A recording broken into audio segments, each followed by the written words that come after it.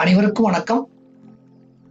இந்த வீடியோவை நீங்கள் பார்ப்பதற்கு முன்னால் புதிய அன்பராக இருந்தால் மறக்காம சப்ஸ்கிரைப் பண்ணுங்க. பக்கத்தில் இருக்கக்கூடிய பெல் பட்டனை ப்ரெஸ் பண்ணி வச்சிங்க. இப்போ இந்த வீடியோவில் நம்ம என்ன பார்க்க போறோம் அப்படின்னு பார்த்தீங்கன்னா டைப்ரைட்டிங் மிஷின் தட்டச்சு பொறி தட்டச்சு இயந்திரம். இதை பத்தி நம்ம முழுமையா பார்க்க போறோம். இந்த தட்டச்சு மிஷினை பயன்படுத்தி நம்ம கம்ப்யூட்டர்ல வந்து பாத்தீங்கன்னா விண்டோஸ் மற்றும் லினக்ஸ் ஆப்ரேட்டிங் சிஸ்டத்தில் கீபோர்டு வாயிலாக மிக வேகமாக தமிழில் டைப் செய்வதற்கு உண்டான எளிய வழிமுறைகளை நம்ம இங்க பார்க்க போறோம். அதோடு மட்டும் இல்லாம இந்த டைப்ரைட்டிங் மிஷினை வந்து யார் கண்டுபிடிச்சது? எப்படி உருவானது? இதனுடைய கனி தட்டச்சு பொறியினுடைய தந்தை யார்? ஆங்கில தட்டச்சு பொறி தமிழ் தட்டச்சு பொறி. அப்படி ரெண்டு மிஷின் இருக்கு. இந்த ரெண்டு மிஷினை யார் யார் கண்டுபிடிச்சது? அது உருவான விதம். எல்லாவற்றையும் பற்றி இங்க இந்த வீடியோவில் மிக எளிமையாக பார்க்க போறோம். இந்த வீடியோவை நீங்கள் முழுவதுமாக பாருங்க. ஸ்கிப் பண்ணாம பாருங்க. அப்பதான் கடைசி வரைக்கும் உங்களுக்கு சொல்லப்படக்கூடிய விவரங்கள் அனைத்தும் உங்களுக்கு எளிமையாக புரிய வரும். நீங்க இந்த வீடியோ மட்டும் பாற்றா போதும் உங்களுக்கு அந்த கம்ப்யூட்டர்ல பயன்படுத்தக்கூடிய அன்பர்கள் அனைவருக்கும் தமிழ் தமிழில் வேகமாக டைப் செய்வதற்கு உண்டான வழிமுறைகள் உங்களுக்கு நன்றாகவே புரிய வரும். அதனால இந்த வீடியோவை ஸ்கிப் பண்ணாம கடைசி வரைக்கும் பாருங்க.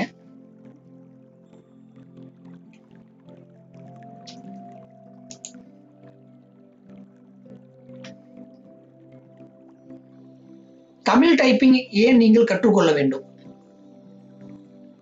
இன்றைய காலகட்டத்தில் பார்த்தீங்கன்னா கம்ப்யூட்டர் பயன்பாடு இல்லாத இடமே இல்லைன்னு சொல்லலாம். அதே போல பார்த்தீங்கன்னாக்க இன்டர்நெட் பயன்படுத்தாதவர்களும் இல்லைன்னு சொல்லலாம்.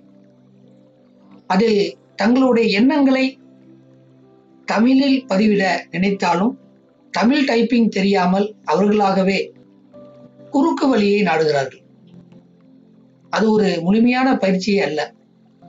அவர்களால் ஒரு டாக்குமெண்டை முழுமையாக உருவாக்க இயலாது. ஆனால் இந்த பயிற்சியில் இந்த வீடியோவில் கூடிய விஷயங்கள் அனைத்துமே நீங்கள் முறையாக தெரிந்து கொண்டால் தமிழ் டைப்பிங் கற்றுக்கொண்டு எந்த இடத்திலும் நீங்கள் பயன்படுத்தி பயன்பெறலாம். இப்போ இங்கிலீஷ் டைப்பிங் பல பேர் பார்த்தீங்கன்னாக்க ஈஸியாக வந்து லேர்ன் பண்ணிடுவாங்க. ஆனால் தமிழ் டைப்பிங் படித்தால் ஒரு சில காலகட்டத்தில் பார்த்தீங்கன்னாக்க தமிழ் படித்தால் அதாவது தமிழ் டைப்பிங் படித்தால் இழுக்கு என நினைத்த காலங்களும் உண்டு. அதனால் தற்பொழுது தமிழ் டைப்பிங் தெரியாமல் பல பேர் இருக்கின்றார்கள்.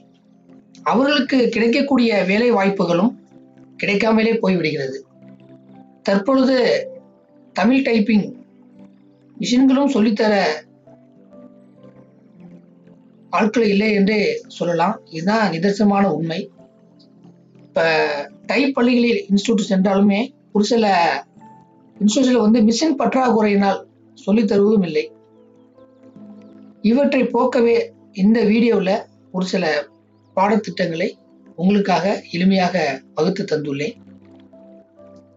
பொதுவாக பார்த்தீங்கன்னாக்க அரசாங்க பணிகளுக்கு தற்பொழுது தமிழ் டைப்பிங் அதிக அளவு தேவைப்படுகிறது. இப்பயிற்சியை மேற்கொள்வர்களுக்கு மிகவும் பயனுள்ளதாக இருக்கும் என்பதில் எவ்வித ஐயமும் இல்லை என்றே சொல்லலாம்.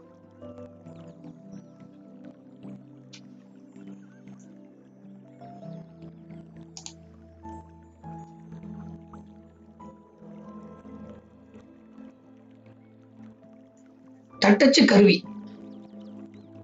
அதாவது நம்ம அந்த டைப்ரைட்டிங் மிஷினை நம்ம என்ன சொல்லலாம் அப்படின்னு பார்த்தீங்கன்னா தமிழில் தட்டச்சு கருவி தட்டச்சு இயந்திரம் அப்படிலாம் சொல்லலாம்.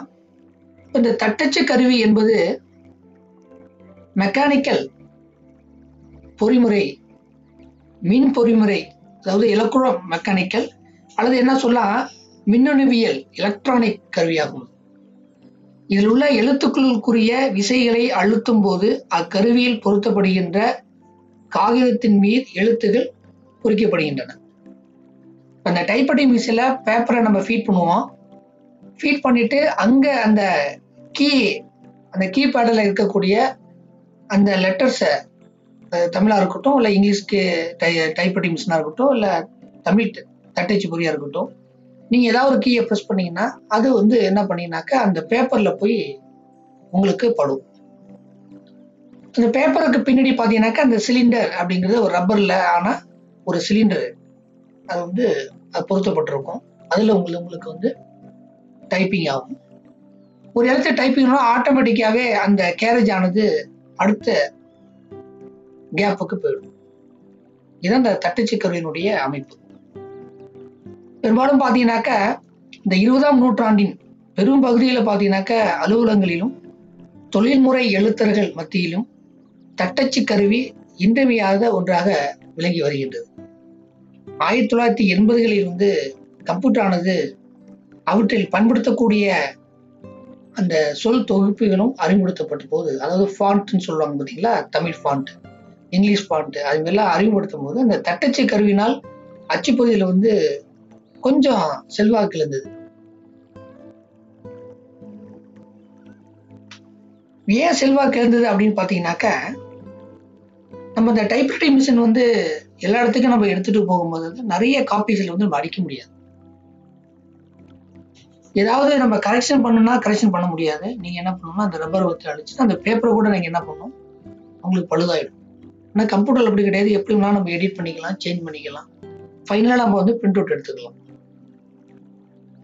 இதுதான் அந்த தட்டச்சு பொறிக்கும் கம்ப்யூட்டருக்கும் உள்ள வித்தியாசம். நீங்க எத்தனை பிரிண்ட் வேணாலும் கம்ப்யூட்டர்ல எடுத்துக்கலாம் பிரிண்டர்ல ஆனா தட்டச்சு பொருள் அதிகபட்சமாக அதிகபட்சமா ஒரு அஞ்சு காப்பி எடுத்துக்கலாம். அதாவது பாத்தீங்கன்னாக்கா முதல் சீட்டு ஒயிட் சீட்டை வச்சு அதுக்கப்புறம் கார்பனை வச்சு அதுக்கப்புறம் ஒரு ஷீட்டை வச்சு அதுக்கப்புறம் ஒரு கார்பனை வச்சு அதுக்கப்புறம் ஷீட்டை வச்சு மேக்சிமம் ஒரு அஞ்சு பேப்பர் வரைக்கும் தான் யூஸ் பண்ணிக்கலாம். இது இந்த தட்டச்சு கருவியினுடைய செயல்பாடு.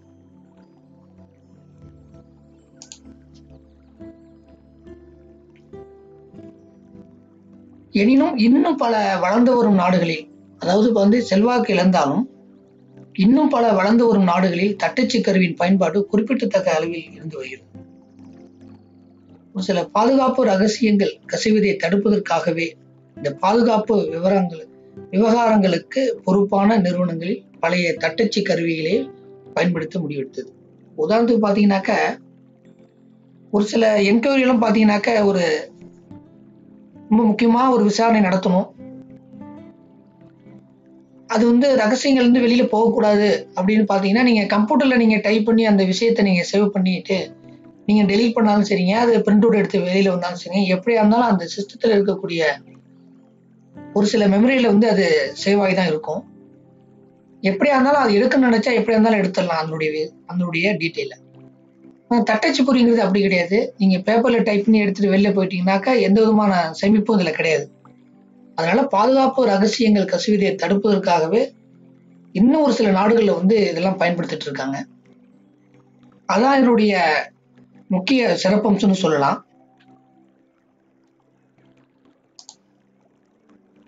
இப்ப பாத்தீங்கன்னாக்க இந்த தட்டச்சு பொறி இந்த டைப்ரைட்டிங் மிஷின்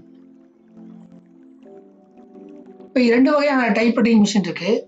ஒன்று பார்த்தீங்கன்னா தமிழில் டைப் பண்ணக்கூடிய மிஷின் இன்னொன்று பார்த்தீங்கன்னாக்கா இங்கிலீஷில் அதாவது ஆங்கிலத்தில் டைப் பண்ணக்கூடிய மிஷின் ரெண்டு மிஷின் தான் இருக்கு. இதில் ஒவ்வொரு ஸ்டேட்லையும் பார்த்தீங்கன்னாக்கா அந்தந்த லாங்குவேஜ் தகுந்த மாதிரி டைப் ரைட்டிங் மிஷின் கிரியேட் பண்ணி வச்சுருக்காங்க. ஹிந்தி டைப் ரைட்டிங் மிஷின் இதெல்லாம் இருக்கு. இப்போ முதன் முதல்ல இந்த தட்டச்சு பொறியின் யார் உருவாக்குனது? யாரு தட்டச்சு தந்தை அப்படின்னு பாத்தீங்கன்னா இந்த கிறிஸ்டோபர் எல் சோல்ஸ் அப்படிங்கிறவர் தான் இந்த தட்டச்சு ஆங்கில தட்டச்சு பொறியின் தந்தைங்கிறது என்ன நம்ம இந்த கிறிஸ்டோபர் எல் சோல்ஸை நம்ம வந்து சொல்றோம். அதே போல தமிழ் தட்டச்சிபுரியின் தந்தை ஆர் முத்தையா. இவங்களை தான் வந்து தமிழ் தட்டச்சிபுரியின் தந்தை என்று நம்ம சொல்றோம். ஏன் வந்து இந்த தட்டச்சுபொறியின் தந்தை கிறிஸ்டோபர் எல் சோல்ஸ் அப்படின்னு பார்த்தீங்கன்னாக்க இவர் தான் முத முத அந்த டைப்ரைட்டிங் மிஷினை வந்து ஒரு ப்ரொசீஜரான ஒரு ஸ்டாண்டர்டான ஒரு ஒரு வழிவகைக்கு வந்து இவர் தான் வந்து கருவா இருந்தவர். இவர் கண்டுபிடிச்ச அந்த ஆங்கிலத்தில் இருக்கக்கூடிய கியூடபிள்யூஇஆர்டி குவார்டி கீபோர்டு. அதுதான் இவர் வந்து டிசைன் பண்ணி இப்போ இன்றளவும் நம்ம பயன்படுத்தக்கூடிய அந்த ஆங்கில தட்டச்சு பொறியா இருக்கட்டுங்க இல்ல கம்ப்யூட்டரா இருக்கட்டும். இது எல்லாமே பார்த்தீங்கன்னாக்கா இந்தோடைய அவருடைய கண்டுபிடிச்ச அந்த லேஅவுட்ல தான் நம்ம வந்து பயன்படுத்திட்டு வரோம். அதனாலதான் வந்து பார்த்தீங்கன்னாக்கா ஆர்ஜின் யாரு? அதாவது முக்கிய கர்த்தாவாக இருந்தது வந்து தட்டைச்சிபுரியின் தந்தை கிறிஸ்டோபர் எஸ் சொல்சர் நம்ம தட்டைச்சிபுரி தந்தை என்று சொல்லலாம். அதே போல தமிழுக்கு வந்து தமிழ் தட்டைச்சிபுரியின் தந்தை ஆர் முத்தையா அவர்களை நம்ம வந்து தட்டைச்சிபுரியின் பொறியின் தந்தை என்று நம்ம சொல்கிறோம்.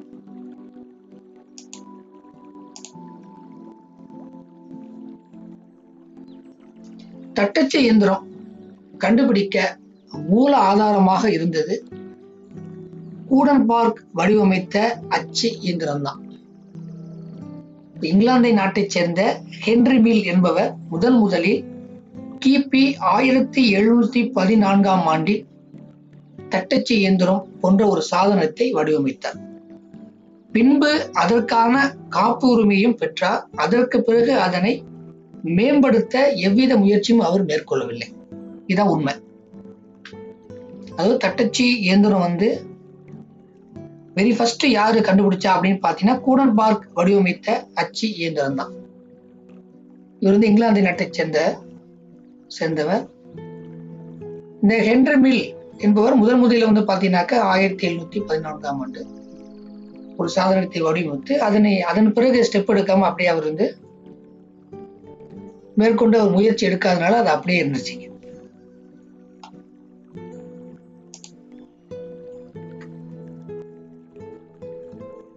கிபி ஆயிரத்தி எட்நூத்தி இருபத்தி ஒன்பதில் வில்லியம் பர்ட் என்பவர் ஒரு கருவியினை வடிவமைத்து அதற்கு டைப்போகிராஃபர் டைப்போகிராஃபர் என்று பெயர் கொடுத்தார். இந்த கருவியில் எழுத்துக்கள் சுற்றக்கூடிய ஒரு சட்டத்தில் அமைக்கப்பட்டிருந்தன. உபயோகப்படுத்தி பார்த்த பிறகு பல நடைமுறை சிக்கல்கள் எழுந்தன. ஆகையால் இவரது முயற்சி தோல்வியில் முடிந்தது. ஆனால் ஆயிரத்தி எட்நூத்தி அறுபத்தி ஏழில் கிறிஸ்டோபர் சோல்ஸ் என்பவர் தட்டச்சு இயந்திரத்தை வடிவமைத்தார்.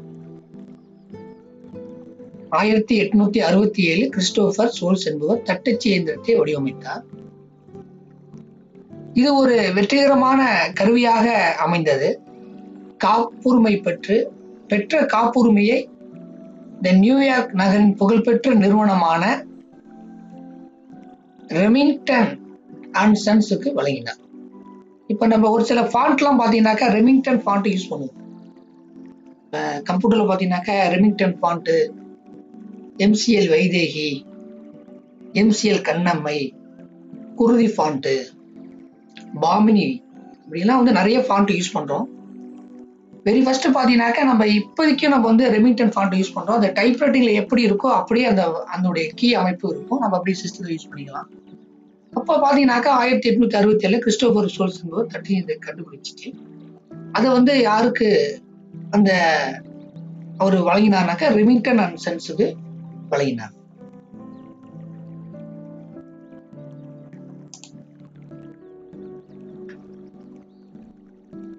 இப்ப தட்டச்சு இயந்திரத்தின் தந்தை என்று அழைக்கப்படுவர் அமெரிக்காவைச் சேர்ந்த கிறிஸ்டோபர் எல் எல் சோல்ஸ். அதாவது கிறிஸ்டோபர் லதாம் சோல்ஸ். இவர் பிப்ரவரி பதினான்கு ஆயிரத்தி எண்ணூத்தி பத்தொன்பதாம் ஆண்டு பிறந்தார். தி கெனோசான் த டெலிகிராஃப் எனும் செய்தித்தாளையும் நடத்தி வந்தார். இன்று வரை பயன்படுத்தப்படும் தட்டச்சு இயந்திரத்தை உருவாக்கியவர் அவர்தான். அவருக்கு முன்னதாகவே பல தட்டச்சு இயந்திரங்களை உருவாக்கினர். எனினும் வணிக ரீதியாக வெற்றி அடைந்த தட்டச்சு இயந்திரத்தை கண்டுபிடித்தவர் இவரே. ஒரு நாள் அவரது நிறுவனத்தின் அச்சுக்கோப்பு தொழிலாளர்கள் வேலை நிறுத்தம் செய்தனர். அவர்கள் இல்லாமலே அச்சுக்கோப்பு பணியினை செய்வதற்காக ஒரு இயந்திரத்தை கண்டுபிடிக்க சோல்ஸ் முயன்றார்.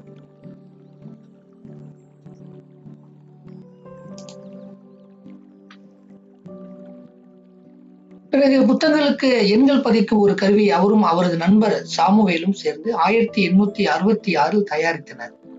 அவர்களோடு கார்ல்ஸ் கிளிட்டன் என்னும் ஒரு வழக்கறிஞரும் சேர்ந்து கொண்டார். முதலில் பியானோ போன்ற அமைப்பில் ஒரு இயந்திரம் தயாரிக்கப்பட்டது. அதை கொண்டு பெரும்பாலும் மரத்தலான தட்டச்சு இயந்திரத்தை அவர்கள் தயாரித்தனர். ஆயிரத்தி எண்ணூத்தி அறுபத்தி எட்டில் இதே நாளில் அதற்கு காப்புரிமை கிடைத்தது. இந்த இயந்திரத்தில் சோல்ஸ் ஒரு ஒப்பந்தத்தை தட்டச்சு செய்தார். முதன் முதலில் தட்டச்சு செய்யப்பட்ட ஆவணம் அதுதான். ஜேம்ஸ் டென்மோர் என்பவர் அவர்களின் காப்புரிமையின் கால்வாசியை வாங்கி கொண்டார்.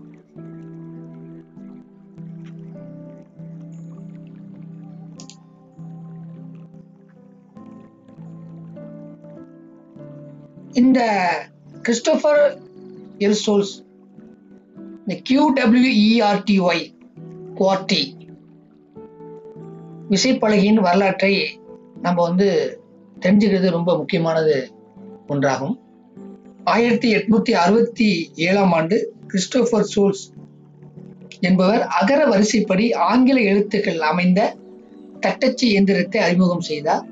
சமகாலத்தில் ஏறத்தால் ஐம்பத்தொன்னு கண்டுபிடிப்பாளர்கள் தட்டச்சு இயந்திர காப்புரிமை பெற்றிருந்தனர். அவர்களின் அனைத்து வடிவமைப்புகளையும் பொதுவாக ஒரு பொது பிரச்சனையாக இந்த விசை கம்பிகள் பிணைந்து கொள்ளுதல் இருந்தது. நம்ம டைப்ரைட்டிங் மிஷினில் பார்த்தீங்கன்னாக்கா ரெண்டு மூணு கீயை நீங்கள் அழுத்திட்டீங்கன்னா அந்த கம்பிகள் வந்து ஒன்றோட ஒன்று பின்னிக்கும் நீங்கள் அதை தனித்தனியாக பிரிச்சு விட்டுட்டு தான் நீங்க திரும்பி டைப் பண்ண ஆரம்பிக்கணும் இது ஒரு பெரிய ப்ராப்ளமா இருக்கு. அப்ப அந்த வடிவமைப்பில் கோளாறு இருந்ததுனால அது எல்லா கம்பிகளும் ஒன்றோட ஒன்று இணைந்ததுனால வந்து அது பெரும் பாதிப்பை ஏற்படுத்துது. இப்ப தட்டச்சு விரிவாக செய்யப்படுகையில் ஏற்பட்ட விசை கம்பிகளின் பிணைந்து கொள்ளும் கோளாறை சரி செய்ய கண்டறி கண்டறியப்பட்டு அறிமுக செய்யப்பட்டதே இந்த கியூ டபிள்யூ இந்த விசைப்பலகை உடைய மெத்தட் இந்த எந்திர தொழில்நுட்பத்தில் மாற்றத்தை கோராமல் விசை அமைப்பு முறையில் மேற்படி விசைக்கம்புகள் பிணைந்து கொள்ளும் கோளாறை சரிபடுத்தும் முறை முயற்சியில் அனைத்து இசையமைப்பு முறைகளையும் வெற்றி கண்டு தட்டச்சி இயந்திரம் உற்பத்தியாளர்களும் இந்த கியூ ஓர்டி இந்த கீபோர்டு மெத்தடு வந்து அனைத்து இடங்களிலும் பரவியது.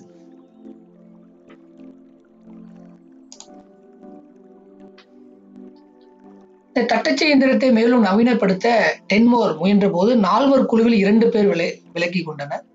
பின்னர் சோல்ஸும் டென்மோரும் ஜோடி சேர்ந்து அந்த பணியை தொடர்ந்து கணினி செல்போன்களில் பயன்படும் இந்த குவார்டி கீபோர்டு எனப்படும் முறையையும் சோல்ஸ் தான் கண்டுபிடித்தார். இந்த சோல்ஸ் வடிவமைத்த தட்டச்சு இயந்திரத்தில் எழுத்துக்களும் எண்களும் வரிசையில் அமைக்கப்பட்டிருந்தன. இந்த பேப்பரிலான ஒரு உருளையும் மரத்திலான ஒரு இடைவெளி விடுவானும் ஸ்பேஸ் பார் அமைக்கப்பட்டிருந்தன. எழுத்துக்கள் தற்போது உள்ளது போலவே சிறிய லெட்டர்ஸ் அதாவது ஸ்மால் லெட்டர்ஸ் மற்றும் கேபிட்டல் லெட்டர்ஸ் எழுத்துகள் அப்போது இல்லை. அனைத்தும் பெரிய எழுத்துக்களாகவே அமைந்தன. அவர் கண்டுபிடிச்ச அந்த கியூஆர் கீபோர்டில் வந்து அப்போ அந்த லாக்கு ஷிஃப்ட் லாக்கு அப்போ கண்டுபிடிக்கல. பிளெயினா வந்து அந்த கியூடபிள்யூஆர்டி அந்த மூணு ரோக்கள் இருக்கக்கூடிய இந்த அமைப்பினை அதுவும் கேபிட்டல் லெட்டர்ல அமைந்த ஒரு இது அந்த ஒரு தட்டச்சி பொறியை தான் அவர் கண்டுபிடித்தார். ஆயிரத்தி எட்நூத்தி தொண்ணூறு பிப்ரவரி பதினேழு காசு நோயா சோல்ஸ் அவர்கள் மரணமடைந்தார். இதுதான் வந்து இந்த ஆங்கில தட்டச்சு இயந்திரத்தின் அடிப்படை வரலாறு. இப்ப அவர் கொண்டு வரலனாக்க தமிழ் தட்டச்சு ஒவ்வொரு மொழிகளை பயன்படுத்தக்கூடிய அனைத்து விதமான தட்டச்சு பொறிகளும் அந்த வந்திருக்குமாங்கிறது பெரிய சந்தேகம் தான் அதனால் இவரை தான் நம்ம தட்டச்சு பொறியின் தந்தை என்று நம் அழைக்கின்றோம்.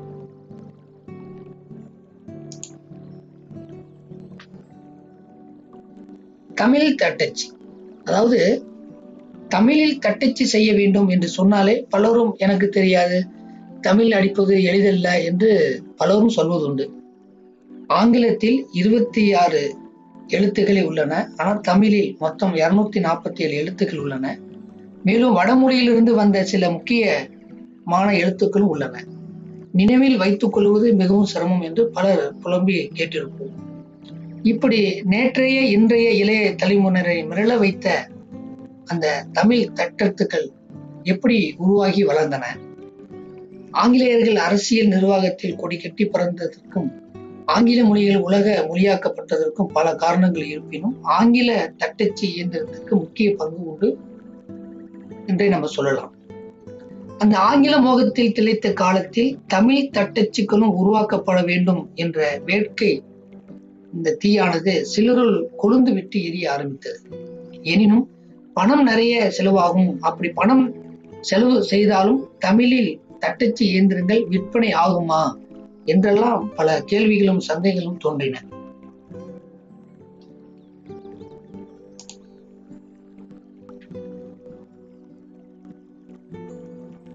இந்த பிரச்சனைக்கெல்லாம் மனதில் கொள்ளாமல் ஈழத் தமிழரான யாழ்ப்பாணத்தைச் சேர்ந்த முத்தையா என்பவர் துணிந்து ஈடுபட்டார். இவரே தமிழ் தட்டச்சுகளின் தந்தை என போற்றப்படுகிறார். தமிழ் தட்டச்சி பொறியையும் தமிழில் தட்டச்சு செய்வதற்கான தொழில்நுட்பங்களையும் உருவாக்கியவரான இவர் ஆர். முத்தையா அவர்கள் ஆயிரத்தி எண்ணூத்தி எண்பத்தி ஆறாம் ஆண்டு பிப்ரவரி இருபத்தி நான்கில் யாழ்ப்பாணத்தில் உள்ள சுண்டிக்குழியில் பிறந்தார். ஆங்கிலத்தில் தட்டச்சு பொறி இருந்ததால் பணி எளிமையாக இருந்தது. அதேபோல் அவருக்கு தமிழ் மொழியிலும் தட்டச்சு பொறி இருந்தால் நன்றாக இருக்கும் என எண்ணி தீவிரமாக உழைத்து ஜெர்மனி நாட்டின் ஒரு தொழில் நிறுவனத்தின் உதவியுடன் தமிழ் தட்டச்சு பொறியை உருவாக்கினார்.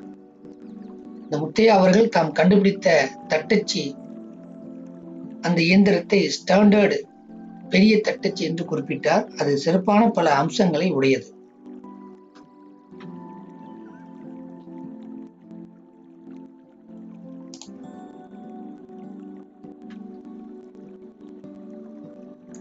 தமிழில் இருநூத்தி நாற்பத்தி ஏழு எழுத்துக்களையும் நான்கு வரிசைகளில் உள்ள நாற்பத்தி ஆறு விசைகளில் அமைக்கும் சவாலான ஒரு விடயத்தில் சாதனை படைத்தார் ஆர் முத்தையா அவர்கள். இந்த தமிழில் இருநூத்தி நாற்பத்தி ஏழு எழுத்துக்கள் இருப்பதால் அவை எல்லாவற்றையும் நான்கு வரிசையில் உள்ள நாற்பத்தி ஆறு விசைகளில் அமைக்க முடியாது. எனவே பல எழுத்துக்களுக்கு பொதுவான உள்ள சில குறியீடுகளை தனித்தனி விசைகளில் அமைத்து அவைகளை தேவையான எழுத்துக்களுடன் சேர்த்து அச்சடிக்கக்கூடிய விசைப்பலகையை அமைக்க வேண்டும். அப்படியானால் இரண்டு விசைகளை அழுத்திய பின்பு அச்சு நகர செய்ய வேண்டும் என்பதனை மனதில் வைத்துக் கொண்டு அவர் முயற்சியில் ஈடுபட்டார்.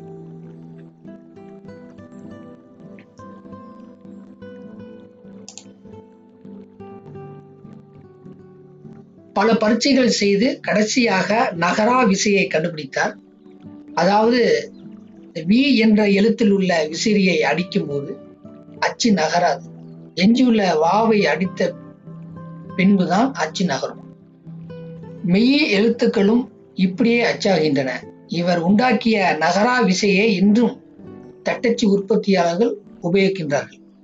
இந்த மூன்று நகரா விசைகளும் விசைப்பலகையின் வலது பக்கம் இருக்கின்றன.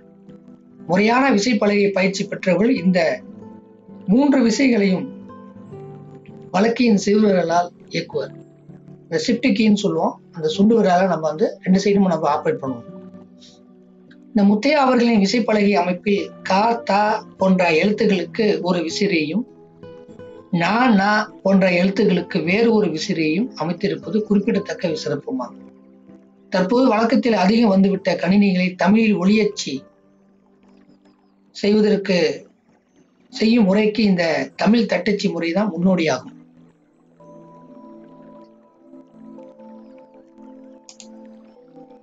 இந்த தமிழ் டைப்பிங் மிஷின்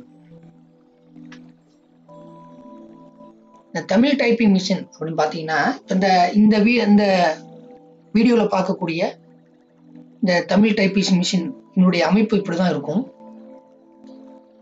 பார்த்தீங்கன்னாக்க அந்த கேரேஜ் லிவர் ரிட்டன் லிவர் அதாவது ஒவ்வொரு லைனாக நம்ம வந்து நகர்த்தக்கூடிய அந்த லிவர் இந்த சில்வரில் இருக்கு பார்த்தீங்கன்னா தெரியும்.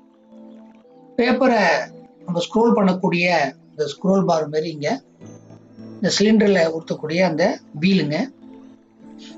பேப்பர் வைக்கக்கூடிய பகுதி இது. இந்த கீபோர்டு லே அவுட்டு இந்த விசை கம்பி அது எழுத்துக்கள் இந்த இந்த முனையில் வந்து எழுத்துக்கள் வந்து ரெண்டு எழுத்துக்கள் இருக்கும் மேலே ஒன்று கீழே ஒன்று இருக்கும். நீங்கள் எந்த எழுத்து அடிக்கிறீங்களோ அந்த எழுத்துல வந்து நேரம் இந்த பேப்பரில் போய் உங்களுக்கு டைப் ஆகும். அப்புறம் பார்த்தீங்கன்னாக்கா ரிப்பன் ரிப்பன் ஃபீடர் பார்த்தீங்கன்னாக்கா ரெண்டு ரோல் இருக்குது பார்த்தீங்கன்னாக்கா இப்படியே ரொட்டேட் ஆகும். முடிஞ்ச பிற்பாடு ஆட்டோமேட்டிக்காக இங்கேருந்து எங்கே ரொட்டேட் ஆகும். இது இந்த டைப்ரைட்டிங் மிஷின் தமிழ் டைப்பிங் மிஷினுடைய அமைப்பு. இப்படி எழுத்துக்களை பார்த்தீங்கன்னாக்க நீங்கள் பார்த்தீங்கன்னா தெரியும். இதுதான் அந்த ஷிஃப்ட் கீ அப்படின்னு சொல்லி இதை நீங்கள் ஒரு தடவை ப்ரெஸ் பண்ணீங்கன்னா அந்த ரெ- ஒரு ரெண்டு கீயும் லாக் ஆகிடும் நீங்கள் அடிக்க அடிக்க உங்களுக்கு என்ன ஆகும்னாக்க எழுத்துக்கள் உங்களுக்கு பிரிண்ட் ஆகும். சாதாரணமாக அடிச்சிங்கன்னா ஏன்னு பிரிண்ட் ஆகும். இப்போ உதாரணத்துக்கு பார்த்தீங்கன்னா நான் அடிக்கிறீங்க. சாதாரணமாக அடித்தா நான் பிரிண்ட் ஆகும். நீங்கள் இந்த ஷிஃப்ட் லாக்கை அடிச்சு பண்ணிட்டு அடிச்சிங்கன்னா நூறு பிரிண்ட் ஆகும். இந்த கீழ் எழுத்து மேல் எழுத்துக்கள். இலேருந்து இந்த அமைப்பில் வந்து ரெண்டு எழுத்துக்கள் இருக்கும். ரெண்டு எழுத்துக்களை வந்து அந்த கம்பியில் சொன்ன மாதிரிங்க. இந்த கம்பியில் இருக்கக்கூடிய மேல் எழுத்து கீழ் எழுத்து. ஷிஃப்ட்டை நீங்கள் லாக் பண்ணிட்டீங்கன்னா மேல் எழுத்துங்க. ஷிஃப்ட் இல்லாமல் அடிச்சிங்கனாக்க உங்களுக்கு கீழ் எழுத்து. இப்போ இதனுடைய அமைப்பு இப்படி தான் இருக்கும். தமிழ் தட்டுச்சிப்பருடைய அமைப்பு இப்படிதான்.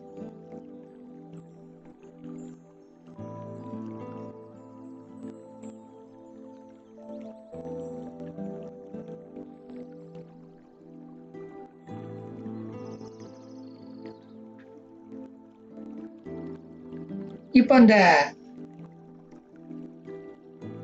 டைப்ரைட்டிங் மிஷின் அப்படின்னாவே அது ஆங்கிலமா இருக்கட்டும் தமிழா இருக்கட்டும் மொத்தம் நாலு ரோக்கள் தான். இப்போ வரக்கூடிய கீபோர்டுலையும் பார்த்தீங்கன்னாக்க கணிப்பொறியில் பயன்படுத்தக்கூடிய கீபோர்டு வந்து நாலு ரோ தான். இந்த நாலு ரோவில் பார்த்தீங்கன்னாக்க மூணு ரோ முக்கியமான ரோக்கள் வந்து அந்த முக்கியமான ரோக்கள் வந்து தமிழாக இருக்கட்டும் இங்கிலீஷாக இருக்கட்டும் அதனுடைய லெட்டர்ஸ் இருக்கும்.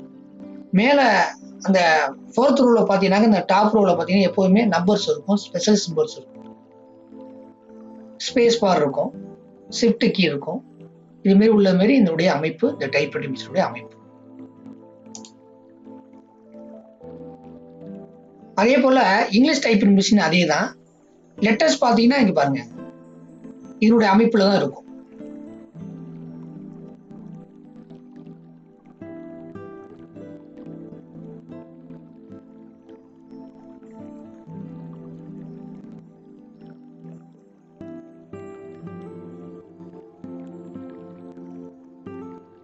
அப்ப இங்கிலீஷ்ல பாத்தீங்கன்னாக்கும் அதே நாலு ரோ தான். அந்த நாலு ரோல வந்து இந்த bottom row middle row top row இதில் பார்த்தீங்கன்னாக்கா அதனுடைய தமிழா இருந்தால் அதனுடைய லெட்டர்ஸுங்க இங்கிலீஷ் அந்த இங்கிலீஷுடைய லெட்டர்ஸுங்க மேலே இருக்கக்கூடிய ரோக்கு வந்து பார்த்தீங்கன்னாக்கா நம்பர்ஸ் இருக்கும் ஸ்பெஷல் கேரக்டர்ஸ் இருக்கும். இங்கேயும் பார்த்தீங்கன்னாக்கா ஷிஃப்ட் கீ இருக்கும் ஷிஃப்ட் கீ லாக்கு நீங்கள் லாக் பண்ணிட்டீங்கன்னா கேபிட்டல் லெட்டராகவே பிரிண்ட் ஆகும். லாக்கை எடுத்து விட்டீங்கன்னா ஸ்மால் லெட்டராகவே நீங்கள் டைப் பண்ணும்போது உங்களுக்கு அமைப்பு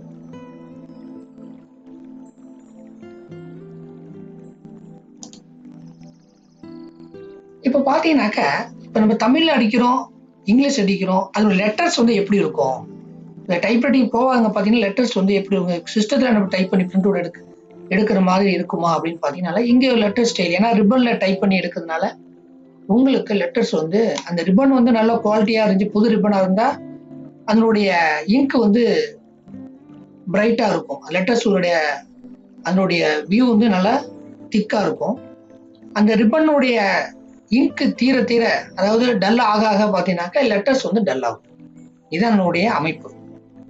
இப்போ வந்து பார்த்தீங்கன்னா இங்கிலீஷில் ஸ்மால் லெட்டர் அடித்தா இப்போ உதாரணத்துக்கு பார்த்தீங்கன்னா பார்த்தீங்கன்னா ஒரு ஒரு நாலஞ்சு வார்த்தைகள் இருக்குது இந்த வார்த்தைகளை வந்து இங்கிலீஷ்ல அடிச்ச அப்புறம் தமிழ்ல அடிச்ச அப்புறம் அப்படிங்கிறத பார்க்க முடியும் இப்போ பார்த்தீங்கன்னாக்க அருணா ஸ்ரீநிதி ஸ்ரீ தமிழ் யூடியூப் சேனல். இப்போ பார்த்தீங்கன்னா தெரியும் உங்களுக்கு. Aruna Srinidhi Sri Tamil YouTube channel. இதில் பார்த்தீங்கன்னா என்ன பண்ணியிருக்கேன்னா முதல் லெட்டரில் வந்து கேபிட்டல் லெட்டர் அடுத்து எல்லாம் சும்மா லெட்டர். அதுக்கு அடுத்தது பார்த்தீங்கன்னாக்க கேபிட்டல் லெட்டர் அடுத்து எல்லாம் ஸ்மால் லெட்டர். அதேமாரி ஒவ்வொரு வேர்டினுடைய ஃபர்ஸ்ட் எழுத்து கேபிட்டல் லெட்டர் இப்போ ஃபர்ஸ்ட் எழுத்து கேபிட்டல் வேணாக்கா டைப்ரைட்டிங் மிஷினில் அந்த ஷிஃப்ட் கீயை பயன்படுத்தினா அதனுடைய எழுத்து உங்களுக்கு பிரிண்ட் ஆகும். இதுதான் வந்து அருணா ஸ்ரீநிதி ஸ்ரீ தமிழ் யூடியூப் சேனல். இதனுடைய ஆங்கில எழுத்தினுடைய தட்டச்சிப்பினுடைய அமைப்பு உங்களுக்கு டைப் பண்ணால் இப்படி தான் உங்களுக்கு வியூ ஆகும். இதே நீங்கள் ஷிஃப்ட்டை லாக் பண்ணிட்டு அடிச்சிங்கனாக்கா நீங்கள் அடிக்க அடிக்க நம்ம எல்லாமே கேபிட்டல் லெட்டராக வரும். அதனுடைய எழுத்துடைய அமைப்பை பாருங்கள் அடுத்தது பார்த்தீங்கன்னாக்க இன்னும் ஒரு நாலஞ்சு வார்த்தைகள் பார்த்தீங்கன்னா ஜி சுபாஷ் சந்திர போஸ் அப்படின்னு பார்த்தீங்கன்னா எழுத்துகள் வந்து எப்படி இருக்கு பாருங்க. S Manimegalai S Sureshkumar Kumbakonam Pattukkottai. இது வந்து ஃபர்ஸ்ட் எழுத்து கேபிட்டல் லெட்டரும் மற்றது எல்லாமே வந்து ஸ்மால் லெட்டரும் இருக்கக்கூடிய எழுத்துடைய அமைப்பு ஆங்கிலத்துல. இதே நீங்க கேபிட்டல் லெட்டர் அடிச்சீங்கன்னா அதே எழுத்துக்களுடைய அமைப்புல வந்து பாத்தீங்கன்னா இப்படி இருக்கும். இதே நீங்க தமிழ்ல அடிச்சீங்கன்னா இப்படி. அருணா ஸ்ரீநிதி ஸ்ரீ தமிழ் சேனல்.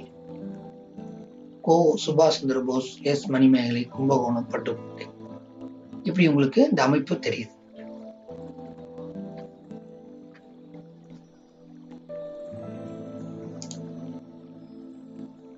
அடுத்தபடியா பாத்தீங்கன்னா கணினியில் வார்த்தைகளில் பிழையை கண்டுபிடிக்கும் அமைப்பின் மூலம் கண்டுபிடித்து எளிதில் திருத்தி விடலாம் அதாவது கம்ப்யூட்டர்ல வந்து சில வார்த்தைகளை நம்ம டைப் பண்ணும்போது ஆட்டோமேட்டிக்கா பேக் ஸ்பேஸை யூஸ் பண்ணி நம்ம வந்து எழுத்துக்களை வந்து ஈஸியா நம்ம வந்து ரெக்டிஃபை பண்ணிடுவோம். ஆனா டைப்ரைட்டிங் மிஷின்ல அது முன்னுக்கு போகலாம். ஆனா எழுத்துக்கு மேல் நம்ம என்ன பண்ணுவோம்? ஓவர் ரைட் பண்ற மாதிரி இருக்கும். அப்படி வந்து டைப்ரைட்டிங் மிஷின்ல கஷ்டம். அதாவது தட்டச்சு இயந்திரத்தில் ஒரு நேரத்தில் அதிகபட்சமாக ஐந்து பிரதிகளுமே எடுக்க முடியாது. முன்னாடி சொன்ன மாதிரி தாங்க அஞ்சு பேப்பர்கள் தான் அதிகபட்சமாக இருக்கும் அதுக்கு அதிகமா போனா எழுத்துக்கள் வந்து உங்களுக்கு அந்த அளவுக்கு ஃபோர்ஸா போய் அந்த கம்பியானது பேப்பர்ல படுற வரைக்கும் மேக்சிமம் ரெண்டு மூணு பேப்பர்ல தான் அவனுடைய அச்சு வந்து நீங்கள் நீங்க வந்து பிரிண்ட் பண்ணும்போது அதனுடைய அமைப்பு இருக்கும். நீங்க வேகமா அடிச்சா ஒரு ரெண்டு மூணு பே- அதிகமா பேப்பர் வச்சீங்கன்னாக்கா அந்த கடைசி பேப்பர் வரைக்கும் அதனுடைய அச்சு போகுமாங்கிறது சந்தேகம். மேக்சிமம் பார்த்தீங்கன்னா அஞ்சு பிரதிக்கு மேல் எடுக்க முடியாது. முதல் பிரதியை தவிர மற்ற பிரதிகள் எழுத்துக்கள் தெளிவாக இருக்காது. அதான் மெயின் ஃபர்ஸ்ட்ல வந்து நீங்க வந்து ஒயிட் பேப்பர் அடிப்பீங்க. அதுக்கு பின்னாடி கார்பன் வச்சு அதுக்கப்புறம் ஒயிட் பேப்பர் வச்சு அதுக்கப்புறம் ஒரு கார்பன் வச்சு அதுக்கப்புறம் ஒரு ஒயிட் பேப்பர் வச்சு இப்படி பண்ணீங்கன்னா முதல் பேஜில் கரெக்டாக இருக்கும். அடுத்தடுத்த பேஜில் வந்து பார்த்தீங்கன்னா கார்பன் இருக்கனால கொஞ்சம் உங்களுக்கு பிரைட்டாக இருக்கும். அதுக்கப்புறம் பார்த்தீங்கன்னாக்கா உங்களுக்கு பிரைட் இருக்காது. இது வந்து டைப்ரைட்டிங் மிஷினில் இருக்கக்கூடிய ஒரு பிரச்சனைங்க. ஆனால் கணினியில் வந்து இந்த பிரச்சனை கிடையாது. கம்ப்யூட்டரில் எத்தனை காப்பினாலும் ஜஸ்ட் டைப் பண்ணி நீங்கள் என்ன பண்ணி எத்தனை பிரிண்ட் வேணாலும் கொடுத்தீங்கன்னா அது பாட்டில் வந்துட்டு ஆனா ஆனால் அந்த கணினி ஆவணங்களை ஒரு ஒரு ஃபைல் மூலம் சேமிச்சு வச்சு எத்தனை முறை வேண்டும்னாலும் பிறகு எடுக்கலாம். இத்தனை வசதிகள் கொண்டிருந்தாலும் இந்த கணினி கீபோர்டு தட்டச்சு இயந்திரத்தை அடிப்படையாக கொண்டது. இந்த மேற்கத்திய நாடுகளில் பத்து ஆண்டுகளுக்கு முன்பே இந்த தட்டச்சு காணாமல் போய்விட்டது. இந்தியாவில் தற்போது ஒரு சில இடங்களில் மட்டுமே பயன்பாட்டில் உள்ளது. கடந்த பத்து ஆண்டுகளில் படிப்படியாக குறைந்து இன்று கணினியின் ஆதிக்கம் மேலோங்கி விட்டது என்னதான் நம்ம கம்ப்யூட்டர்ல வந்து கீபோர்டில் டைப் பண்ணாலும் அந்த தட்டச்சு பொறியில் கற்றுக்கிட்டு வந்து நீங்கள் அடிக்கிற மெத்தடே வேற. நீங்கள் கடைசி வரைக்கும் நீங்கள் இந்த கஷ்டப்பட்டு அந்த ஒரு ஒன் இயர் நீங்கள் ப்ராக்டிஸ் பண்ணி கற்றுக்கிட்டிங்கன்னா நீ வாழ்நாள் முழுவதுமே அதனுடைய பயிற்சியினுடைய அதனுடைய அனுபவம் தாக்கம் உங்களுக்கு கடைசி வரைக்கும் இருக்கும். பிழைகள் இல்லாமல் நம்ம டைப் பண்ணிக்கலாம். முடியாத பட்சத்துக்கு தான் நம்ம வந்து இதனுடைய டெக்னிக்கை நம்ம இந்த எளிமையான மெத்தடை நம்ம பயன்படுத்துகிறோம் ஆனால் முறையாக நம்ம இன்ஸ்டியூட்டுக்கு போய் கற்றுக்கிட்டோம்னாக்க மிக சிறப்பாக அடிக்கலாம். இருப்பினும் ஒரு நூறு சதவீதத்துக்கு ஒரு எழுபத்தஞ்சு சதவீதத்தை நம்ம வந்து இந்த பயிற்சி மூலம் நம்ம கண்டிப்பா நம்ம பயன்படுத்தி பயன்பெறலாம்.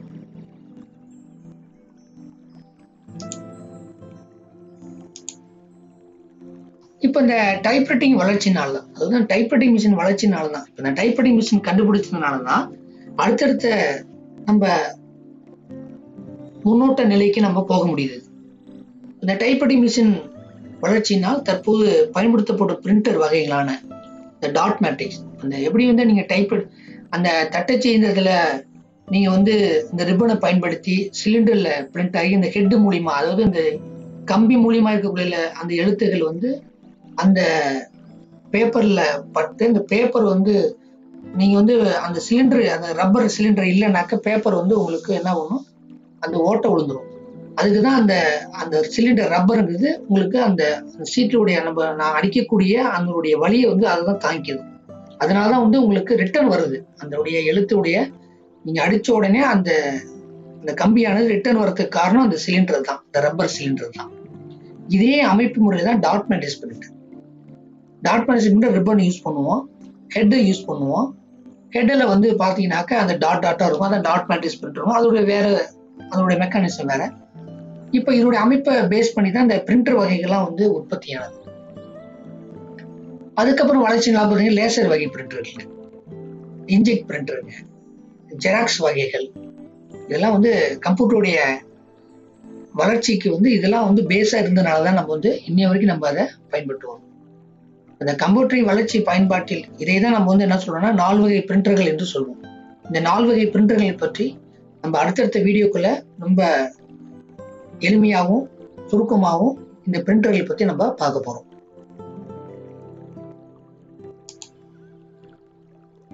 இது வரைக்கும் நம்ம பார்த்துக்கிட்டோம். என்ன பார்த்துக்கிட்டோம் அப்படின்னு பார்த்தீங்கன்னா அந்த தட்டச்சு எந்திரம் அதனுடைய வரலாறு.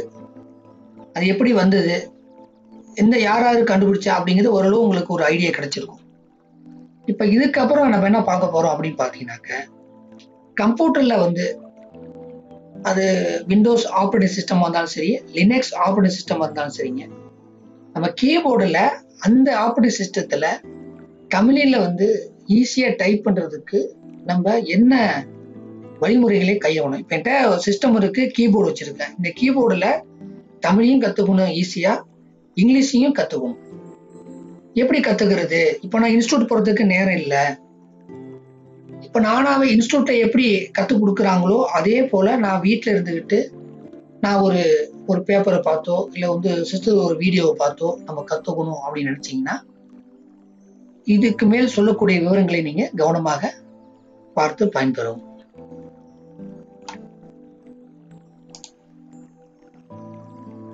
அதாவது பார்த்தீங்கன்னாக்க இந்த தமிழை பொறுத்த வரைக்கும் என்னுடைய லேஅவுட்டு தான். இப்போ டைப்ரைட்டிங் மிஷின் இருக்கு. இந்த படத்துல வந்து எப்படி உங்களுக்கு அமைப்பு இருக்கோ அதே மாதிரி தான் இருக்கும். முன்னாடி சொன்ன மாதிரிங்க நாலு ரோக்கள் இருக்கும். நாலு ரோக்கள் இருக்கும். இந்த ஃபர்ஸ்ட் ரோல வந்து நம்பர்ஸ் இருக்கும். அந்த நம்பர்ஸுக்கு மேலேயே பார்த்தீங்கன்னாக்க ஒரு சில விசேஷ கீபோர்டு ஷா ஸ்ரீ ஜா இந்த கொக்கிகள் இருக்கும் ஷா இருக்கும். Open bracket close bracket comma இருக்கும். அக்கனா எழுத்து இருக்கும். டபுள் கோட்ஸ் இருக்கும். பர்சன்டேஜ் சிம்பிள் இருக்கும். இதெல்லாம் இருக்கும். அதுக்கு கீழே பார்த்தீங்கன்னாக்க தமிழ் எழுத்துக்கள் இந்த மூணு ரோக்கள் இருக்கும். ஒரு சில கொக்கிகள் இருக்கும். கீழ் கொக்கி அதாவது நெடில் கொக்கி குரில் கொக்கி. ஓகேங்களா? அதே மாதிரி எழுத்துக்களான அனைத்து எழுத்துக்களுமே வந்து இந்த மூணு ரோலே வந்து இரநூத்தி நாற்பத்தி ஏழு எழுத்தையும் நம்ம வந்து இந்த மூணு ரோலையும் நம்ம வந்து நம்ம டைப் பண்ணி பயன்படலாம். இதுதான் வந்து உங்களுக்கு இருக்கக்கூடிய மெத்தடு பொதுவாகவே பார்த்தீங்கன்னாக்கா இந்த டைப்படி மிஷினில் வந்து இந்த இருக்கக்கூடிய இந்த நாலு ரோவ்லையும் சென்டராக ஒரு ஒரு பாயிண்ட் வச்சுட்டு இதை லெஃப்ட் ஹேண்டுக்கும் இந்த பகுதியை வந்து லெஃப்ட் ஹேண்டுக்கும் இந்த பகுதியை வந்து ரைட் ஹேண்டுக்கும் பயன்படுத்தலாம். இல்லை ஷிஃப்டிக்கையும் நம்ம பயன்படுத்தி பயன்படுறோம். இது ஸ்பேஸ் பார் இருக்கும். இதுதான் வந்து தமிழ் தட்டச்சி பொறியினுடைய அமைப்பு.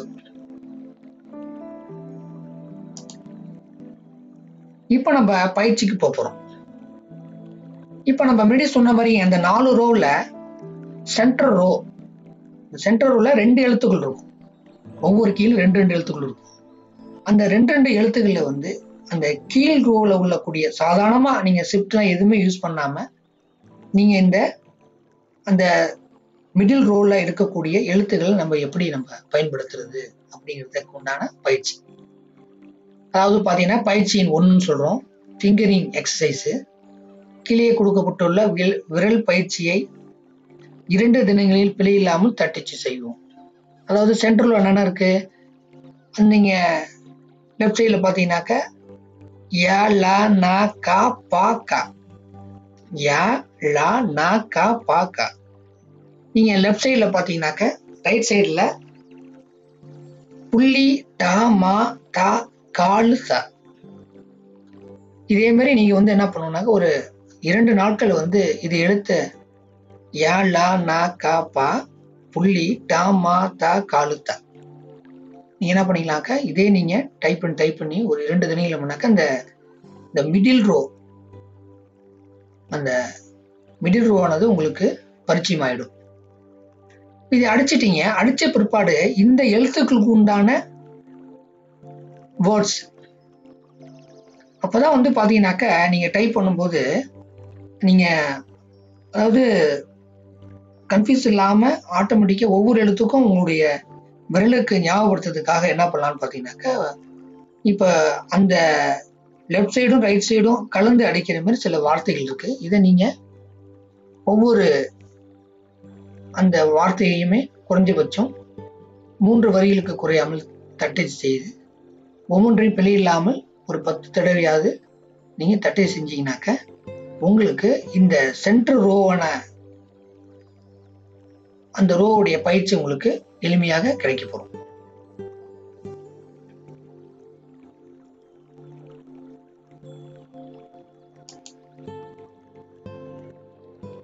அடுத்தது பார்த்தீங்கன்னாக்க அந்த சென்ட்ரு ரோக்கு டைப் பண்ணிட்டீங்க.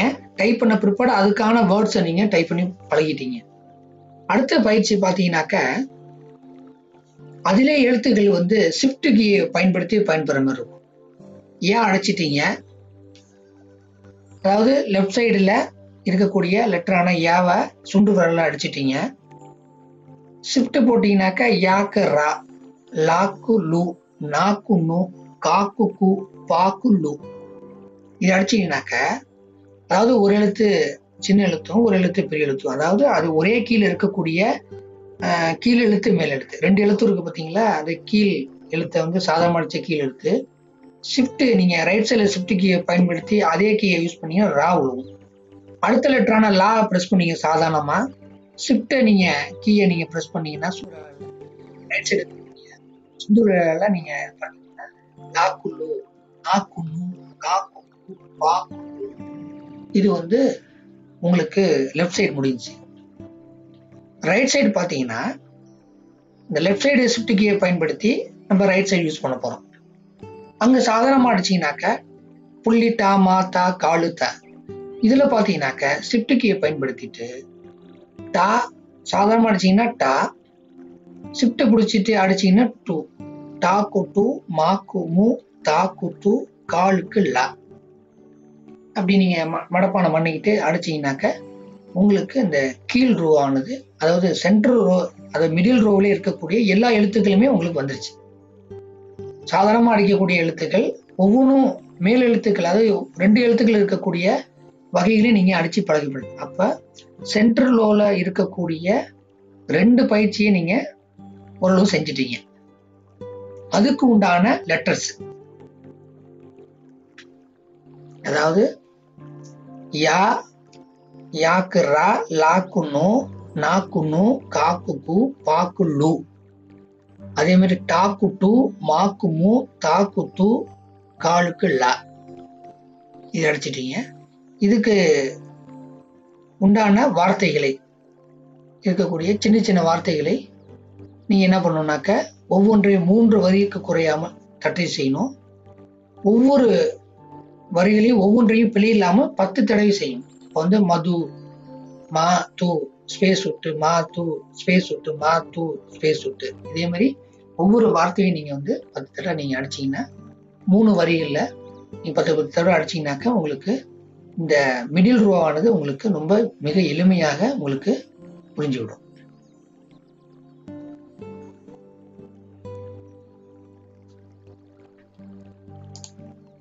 அடுத்தது பார்த்தீங்கன்னாக்க கீழ் ரோ பாட்டம் ரோ நூ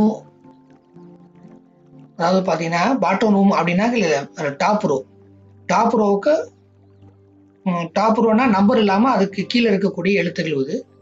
நூ ரா நா சா வா சா கொக்கி போட்டு டி இந்த ரை ரா லா ரா இப்படி போட்டு அடிச்சீங்கன்னா இந்த மேல் ரோ முன்னாடி சொன்ன மாதிரிங்க லெஃப்ட் சைடு ரைட் சைடு அப்புறம் லெஃப்ட் சைடில் இருக்கக்கூடிய ஷிஃப்ட்டை யூஸ் பண்ணி ஒவ்வொரு கீயும் ரெண்டு ரெண்டு தடவை அடிக்கிற மாதிரி. இது வந்து சாதாரணமாக அடிக்கிற மாதிரி உள்ள மேல் ரோல இருக்கக்கூடிய அனைத்து லெட்டர்களும் அப்படியே அடிச்சிட்டு வந்துடுறீங்க. அதுக்கு உண்டான வார்த்தைகளை நீங்கள் இங்கே டைப் பண்ணிடுறீங்க.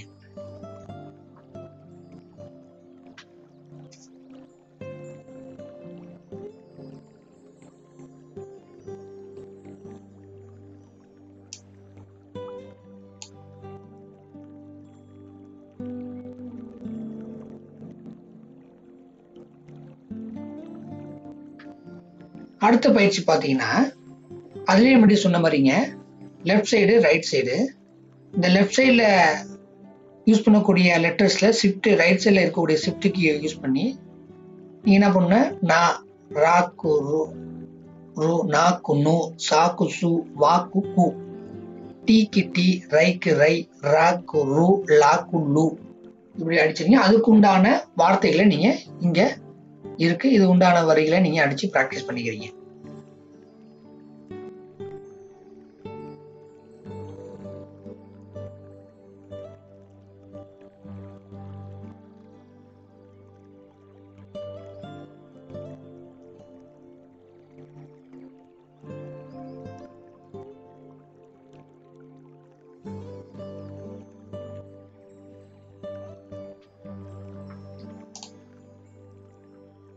அடுத்த பயிற்சி பார்த்தீங்கன்னா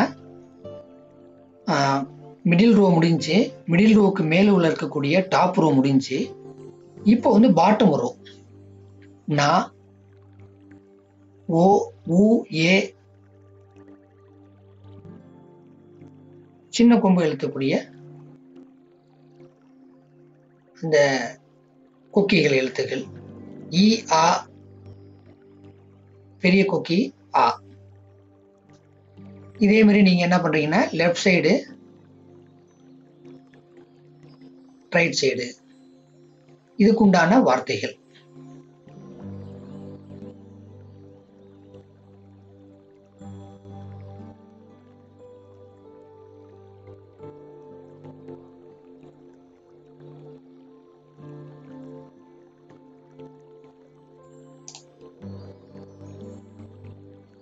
அதே பயிற்சியில் பாட்டம் ரோவில் இருக்கக்கூடிய ஒரு கீ அந்த ரெண்டு எழுத்துக்கள் இருக்கக்கூடிய லெஃப்ட் சைடு ஒவ்வொரு கீழே இருக்கக்கூடிய ரெண்டு எழுத்துக்கு ஒரு எழுத்து சாதா எழுத்து அதில் மேலே இருக்கக்கூடிய எழுத்துக்கு சிப்டிக்கை யூஸ் பண்ணி லெஃப்ட் ரைட்டு யூஸ் பண்ணி அதனுடைய பயிற்சியை முடிச்சுக்கிறீங்க.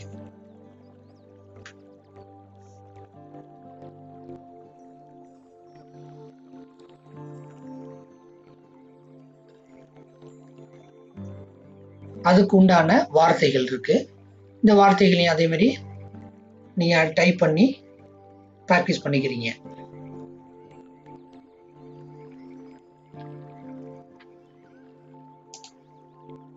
அடுத்தது வந்து பாத்தீங்கன்னா இப்ப middle row top row bottom row மூணு ரோ முடிச்சிட்டீங்க. இந்த மூணு ரோலையும் லெஃப்ட் ரைட்டு அந்த லெஃப்ட்ல இருக்கக்கூடிய கீழ் எழுத்து மேல் எழுத்து. ஒரே எழுத்துல இருக்கக்கூடிய ரெண்டு எழுத்துக்கள் வந்து கீழ் எழுத்தை அப்படியே சாதாரணமாக டைப் பண்ணிட்டீங்க. அப்புறம் வந்து ஷிஃப்ட்டை யூஸ் பண்ணி மேல் எழுத்துக்களையும் ஒரு சின்ன எழுத்து ஒரு அடுத்த எழுத்தக்கூடிய மேல் எழுத்து எப்படின்னு கலந்து யூஸ் பண்ணி அதுக்குண்டான வார்த்தைகளையும் நீங்கள் டைப் பண்ணி ப்ராக்டிஸ் பண்ணிட்டீங்க. இப்போ நம்பர்ஸுங்க நம்பர்ஸ் பார்த்தீங்கன்னாக்க one two three four five four zero nine eight seven six seven எப்போதுமே பார்த்தீங்கன்னாக்க இந்த டைப்ரைட்டிங் மிஷினில் மொத்தம் நமக்கு வந்து பத்து விரல்கள் இருக்கு. இந்த பத்து விரல்கள் பார்த்தீங்கன்னாக்க இந்த லெஃப்ட் சைடு பார்த்தீங்கன்னா அஞ்சு விரலும் அஞ்சு விரல்ல உங்களுக்கு நாலு விரல் தான் பயன்படும். கட்டை விரல் பயன்படாது எப்போதுமே. அப்போ பத்து விரல்களில் வந்து டைப்ரைட்டிங் சம்பந்தமா தட்டச்சி பொறியாக இருந்தாலும் சரி தமிழாக இருந்தாலும் சரிங்க இங்கிலீஷாக இருந்தாலும் சரிங்க கம்ப்யூட்டர் இருக்கக்கூடிய கீபோர்டாக சரிங்க எதுவுமே வந்து பத்து விரக்கில் ஒம்பது விரல் தான் பயன்படும். பயன்படாத ஒரு விரல் என்னன்னு கேட்டீங்கன்னாக்க நம்ம இடது பக்கம் இருக்கக்கூடிய கட்டை விரல் தான். மீதி ஒன்பது விரலும் பயன்படும். இந்த வலது பக்கம் இருக்கக்கூடிய கட்டை விரல் வந்து ஸ்பேஸ் பார் மட்டுமே அடிச்சுட்டு மீதி இந்த ஒரே விரல் வந்து ஒரே இதை வந்து தான் ப்ரெஸ் பண்ணுவோம். மீதி வந்து இந்த பத்து விரல்கள்ல ஒரு விரல் பயன்படாது. ஒரு விரல் ஒரே கீயை தான் நம்ம வந்து டைப் பண்ணிட்டே இருக்கும் பயன்படுத்துவோம். மீதி வந்து இதுல லெஃப்ட் சைட்ல ஒரு நாலு ஃபிங்கரும் ரைட் சைடு ஒரு நாலு ஃபிங்கரும் தான் ஒர்க்குங்க இப்போ இந்த நாலு நாலு எட்டுல வந்து உங்களுக்கு வந்து ஹோம் கீன்னு சொல்லுவாங்க. யா லா நா கா. யா லா நா கா. இந்த கா அதுதான் பார்த்தீங்கன்னாக்க சீட்டிங். அதாவது அந்த கடைசி. அதுமாதிரி புள்ளி டா மா தா அந்த தா. உங்களுக்கு இந்த எழுத்துக்கள் தான் பார்த்தீங்கன்னாக்க அந்த எப்போதுமே வந்து எத்தனை ரோவில் நீங்கள் விரல்கள் போயிட்டு வந்தாலுமே இந்த மிடில் ரோவில் தான் இந்த நாலு நாள் எட்டு அந்த கீயோட அமைப்பில் தான் கரெக்டாக இருக்கும். எங்கே போனாலும் அந்த இடத்துக்கு வந்துடும் அதுதான் ஹோம் கீஸ்ன்னு சொல்லுவோம். இந்த ஹோம் கீஸில் வந்து உட்காந்துட்டு இருந்தால் தான் நமக்கு வந்து உங்களுக்கு சரளமாக ஒரு டைப் பண்ணது வசதி நீங்கள் கையை எடுத்துட்டீங்கனாக்க நீங்கள் அதை நம்ம திரும்பி கண்ணால் பார்த்துட்டு ஒன்று ஒன்றா நீங்கள் தேடி தேடி அடிக்கணும். நீங்கள் மறந்துடாமல் அதாவது பார்த்தீங்கன்னாக்க மறக்காமல் அடிக்கிறதுக்கு இதோட கீ ப்ராக்டிஸ் முக்கியம். இப்போ வந்து டாப் ரோல இருக்கக்கூடிய நம்பர்ஸ் டைப் பண்ணி அதுக்குண்டான லெட்டர்ஸ் மாறி மாறி அடிக்கக்கூடிய வார்த்தைகள்.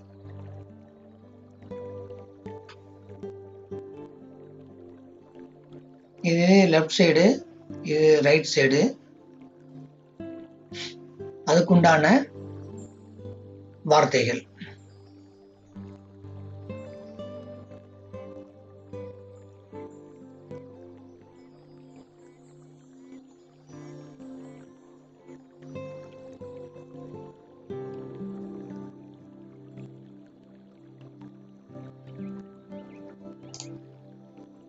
அடுத்தது பார்த்தீங்கன்னாக்க அந்த நம்பர்ல இருக்கக்கூடிய ஸ்பெஷல் கேரக்டர்ஸ் ஸ்பெஷல் கேரக்டர் மீதுல வடமொழி எழுத்துக்கள். ஷா இந்த ஜூலை ஜூன் ஸ்ரீ இது மேல எழுத்துக்கள்லாம் மேல இருக்கும். அந்த எழுத்துக்களுக்கு உண்டான பயிற்சி.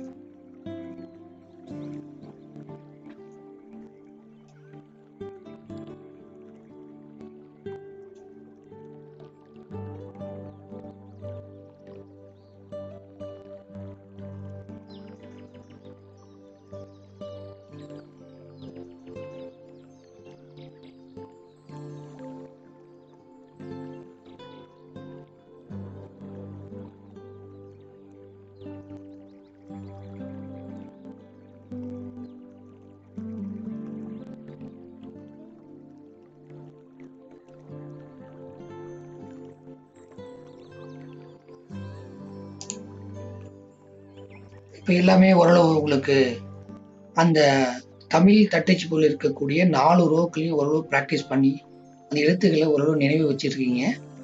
இந்த எழுத்துக்களை பயன்படுத்தி ஒரு எல்லா எழுத்துக்களுமே கலந்து இருக்கக்கூடிய அந்த இந்த தமிழ் எழுத்துக்கக்கூடிய மூணு ரோக்களையும் கலந்து இருக்கக்கூடிய அந்த சே சோ வா உ கா கு பூ பூ இது மாதிரிலாம் எழுத்துக்களை வந்து கீழ் கொக்கி மேல் கொக்கி நெடில் கொக்கி குரில் கொக்கி கொக்கிகள் மேலே இருக்கக்கூடியது சுழிக்கக்கூடியது எல்லா எழுத்துக்களுக்கு உண்டான லெட்டர்ஸ் இதை நீங்கள் வந்து ப்ராக்டிஸ் பண்ணி பார்க்குறீங்க.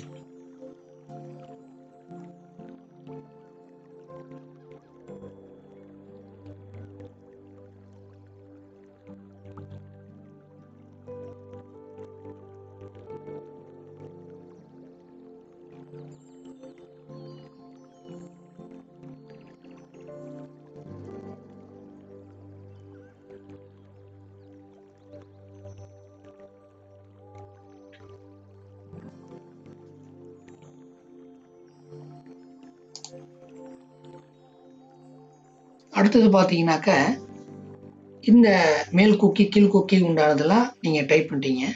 இப்போ ஒரு முழு வாக்கியத்தோட ஒரு சில வாக்கியங்களை நீங்கள் அடைக்கிறதுக்கு இந்த பயிற்சியை நீங்கள் மேற்கொள்ளலாம். தாளம்பூ அரஞ்செய விரும்பு வான வேடிக்கை பேச்சுவார்த்தை ஆறுவது சினம் விருந்தோம்பல் தெம்மாங்கு இயல்வது கருவேல் பஞ்சசீலம் நந்தனார் பள்ளி. ஈவது விலகில் மோதிர விரல் யானை பாகன் ரணக்களம் உடையது விளம்பேல் இது எழுத்துக்கள் ஒரு மாடலுக்கு இங்க இருக்கு. இதை நீங்க ஒரு பிராக்டிஸ் பண்ணி பார்க்கலாம்.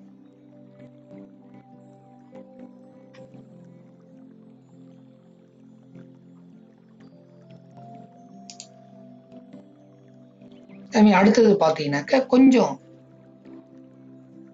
அதிக கீக்கு உண்டான சில எக்ஸசைஸ் இதை கொஞ்சம் நல்லா பிழை இல்லாம நீங்க ப்ராக்டிஸ் பண்ணி பார்க்கலாம்.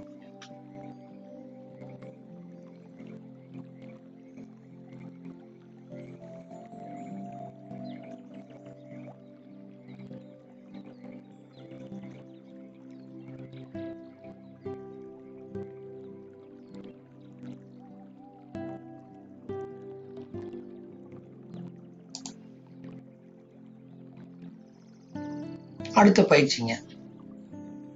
அகர முதல எழுத்தெல்லாம் ஆதிபகன் முதற்றே உலகு. இருந்தோம்பி இல் வாழ்வதெல்லாம் விருந்தோம்பி வேளாண்மை செய்தற் பொருட்டு. முகத்தான் அமர்ந்தினது நோக்கி அகத்தானாம் என் சொல்லினதே அறம். நன்றி மறப்பது நன்றென்று நன்றல்ல அன்றை மறப்பது நன்று. ஒழுக்கம் விழுப்பம் தரலாம் ஒழுக்கம் உயிரினும் வம்பப்படும். சிறப்பினும் செல்வம் பொறியினும் பிறர்க்கின்னா செய்யாமை மாசற்றாக்கோள் கற்க கசடார கற்பவை கற்றுப்பின் நிற்க அதற்கு தக. முயற்சி திருவினையாக்கும் முயற்சியின்மை இன்மை புகுத்திவிடும். இந்த வாக்கியங்களை நீங்க அடித்து பிராக்டிஸ் பண்ணிக்கலாம்.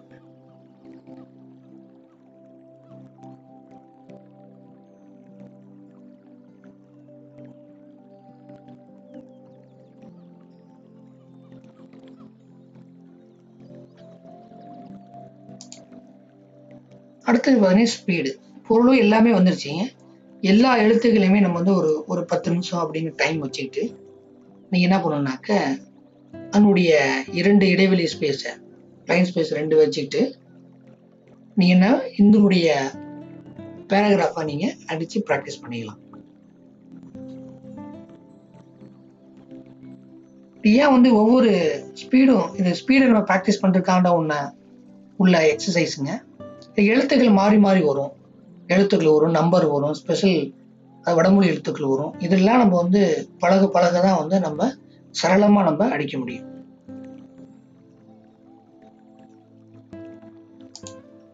அதே போல் அடுத்த ஸ்பீடு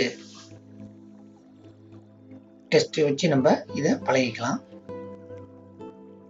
இது டைப்ரைட்டிங் ஸ்டூலில் பார்த்தீங்கன்னாக்கா ரெண்டு பேரா இருக்கும். அந்த ரெண்டு பேராவில் பார்த்தீங்கன்னாக்கா இந்த அதாவது இந்த நியூஸ் பேப்பர்ல வரக்கூடிய பேரா மாதிரி இருக்கும்.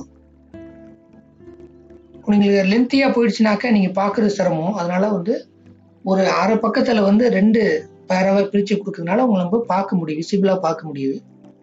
இதுல வந்து பாத்தீங்கன்னாக்க இதுலயே வரிகளை பாத்தீங்கன்னாக்க புதுமுக இளநிலை இளநிலை முதுநிலை. அதாவது ப்ரீ ஜூனியர் ஜூனியர் சீனியர் இப்போ ஸ்பீடை வந்து இப்போ வந்து சீனியர் பார்த்தீங்கன்னா இது வரைக்கும் ஃபுல்லாகவே அடிச்சிடுவாங்க இல்லை அதாவது இதுக்கு மேலேயும் ஒரு பராவும் சேர்த்து அடி ஸ்பீடு நம்ம ப்ராக்டிஸ் பண்ண பண்ண பண்ண நம்மளுடைய ஸ்பீடு இன்க்ரீஸ் ஆக ஆக நம்ம எழுத்துக்கள் வந்து அதிகப்படுத்திட்டே அது வரிகளை வந்து அதிகப்படுத்திட்டே போயிட்டு இருக்கலாம். அதெல்லாம் வந்து இன்ஸ்டியூட்டில் பார்த்தீங்கன்னா ப்ரீ ஜூனியர் ஜூனியர் சீனியர் அப்படிங்கிற டெஸ்ட்லாம் இருக்கு.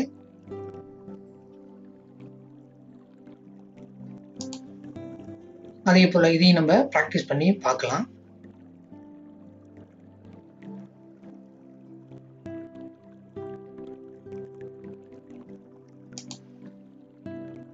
இதன் தொடர்ச்சியாக கம்ப்யூட்டர் விண்டோஸ் மற்றும் லினக்ஸ் ஆப்பரேட்டிங் சிஸ்டத்தில் கீபோர்டில் வேகமாக ஆங்கிலத்தில் டைப் செய்வதற்கு உண்டான வழிமுறைகளை அடுத்த வீடியோ பகுதி ரெண்டில் வந்து பார்க்க போகிறோம் இது வரைக்கும் நம்ம என்ன பார்த்துருக்கோம் அப்படின்னு பார்த்தீங்கன்னாக்க சாதாரணமாக ஒரு டைப்ரைட்டிங் மிஷினில் என்ன நடக்குது அங்கே இன்ஸ்டியூட்டில் என்ன சொல்லித்தராங்க பயிற்சி? அந்த பட்ஜெட் புக்குன்னு சொல்லுவாங்க ஸ்பீடுன்னு சொல்லுவாங்க எக்ஸசைஸ்ன்னு சொல்லுவாங்க பட்ஜெட் எக்ஸசைஸுங்க இப்போ ஒரு சாதாரணமாக பார்த்தீங்கன்னா ஒரு ரெண்டு மாதம் மூணு மாதம் போனீங்க. இதனுடைய நிகழ்வு தான் இது மாதிரி நடத்திட்டு இருக்கும் இதை நம்ம கம்ப்யூட்டரில் எப்படி அடித்து பார்க்குறதுங்கிறத நம்ம வந்து அடுத்த வீடியோ நம்ம வந்து ரொம்ப எளிமையாக பார்க்க போகிறோம் நீங்கள் வந்து அதை பார்த்தாவே போதும். உங்களுக்கு எந்தெந்த விரலில் எந்தெந்த கீ யூஸ் பண்ணுங்கிறதுலாம் நம்ம அடுத்த வீடியோ நம்ம பார்க்க போகிறோம்